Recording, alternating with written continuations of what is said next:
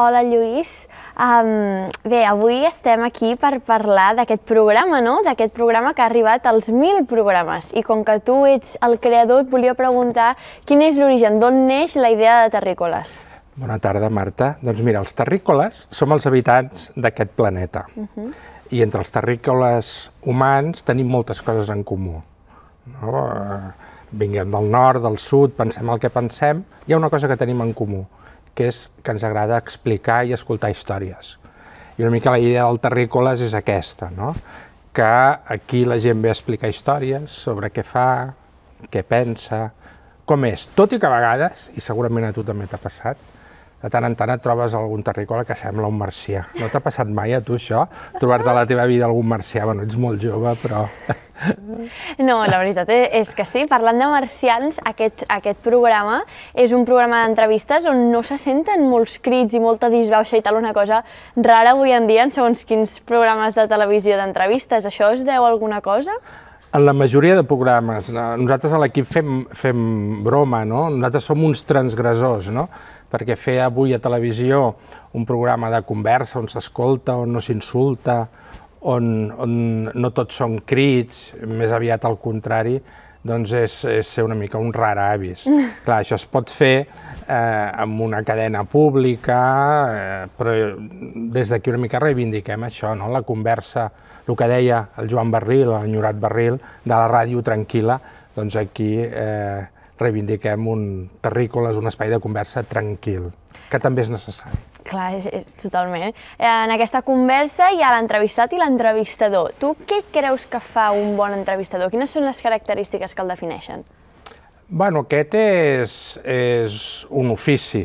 Eh? El periodisme és, és un ofici i l'entrevista és un dels gèneres d'aquest ofici. Jo crec que el bon entrevistador té també les característiques del periodista. És curiós fins a l'infinit, crític, eh, té doncs, una ànsia de, de conèixer, d'explicar eh, històries, i pel que fa a l'entrevista, doncs, picar pedra, documentar-se bé, saber qui tens al davant i tenir clar què vols que t'expliqui, eh, què vols saber d'aquella persona, què vols compartir. Això no sempre, no sempre és fàcil, no? perquè despullar-se en sentit metafòric no, no sempre ho vol fer tothom, no?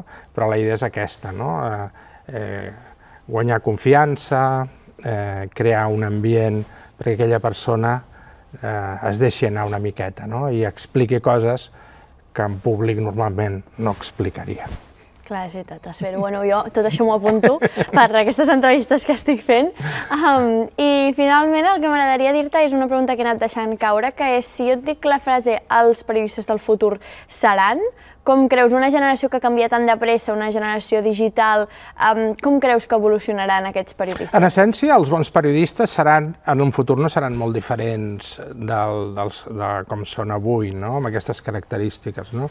eh, que es, es documenten bé, que tenen aquesta aspiració de trobar, d'alguna manera, d'acostar-se a, la, a la veritat de les coses. Potser el que està canviant és eh, que hauran de ser més bons gestors de la informació. Estem en un món on hi ha una sobredosi d'informació uh -huh. i, per tant, és difícil trobar aquella informació que és rellevant. Ara es parla molt de les fake news, de les notícies falses. En el fons, notícies falses i han, han existit sempre, no? Era la desinformació. Tots els estats s'han dedicat des de que existeixen a desinformar. El que passa que ara això s'ha amplificat? Hi ha molta més desinformació, moltes més fake news, perquè tu o jo ens podem dedicar, eh, no, cal ser, no, no cal formar part dels serveis secrets. No?